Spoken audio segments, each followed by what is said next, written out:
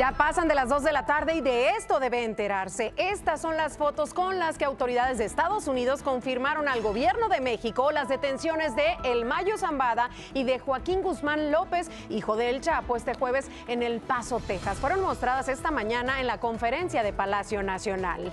Y ahí mismo el presidente López Obrador confirmó que ninguna autoridad mexicana participó en el operativo de captura de estos dos capos. Sin embargo, sentenció que estas detenciones son un avance contra el narcotráfico, aunque reconoció que no resuelven el problema de fondo.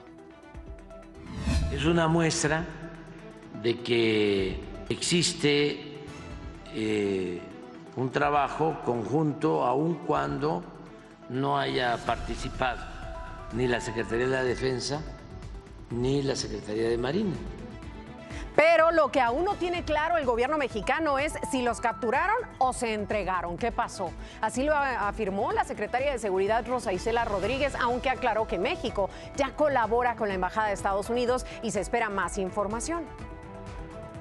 Si fue captura, si fue entrega, si fue ¿Qué es lo que pasó? Eso es parte de lo que el gobierno eh, de Estados Unidos eh, tendrá que hablar.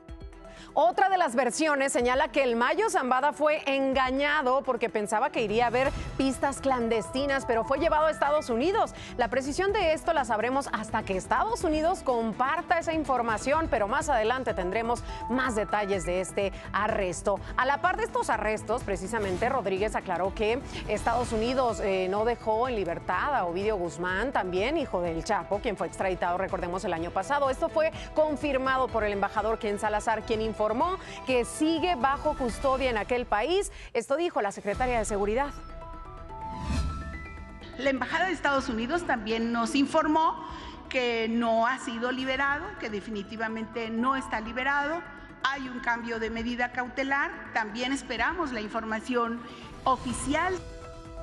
¿Cuál es esa nueva medida cautelar? No hay precisión, ¿eh? Podría ser un cambio de centro de reclusión o que ya esté en el programa de protección a testigos. Su próxima audiencia será el 30 de septiembre. Y en otros temas, tras el señor socavón que se formó en Zapopan, Jalisco, ¿se acuerda que aquí se lo mostré? Autoridades dijeron que van a tardar 10 días en repararlo, así que comienza la cuenta regresiva. Día 1, Carla Méndez, voy contigo. Buenas tardes.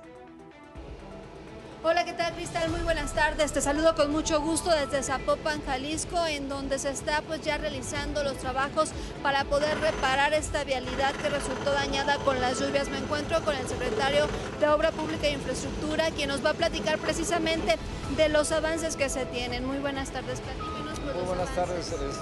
Ya estamos en la construcción de la estructura que va a soportar el nuevo puente. Se hicieron ya las obras de contención para evitar que si hay alguna creciente nos vaya a parar los trabajos. Y bueno, vamos a estar trabajando las 24 horas, los dos carriles que habilitamos para contraflujo están funcionando y por la noche habilitaremos el tercer carril para que sea un poco más ágil. Y la recomendación, pues si no tienen para motivo para transitar, pues que no tengan paciencia. Esto lo vamos a sacar en el tiempo que les estamos indicando. ¿Cuánto mide más o menos el socavón?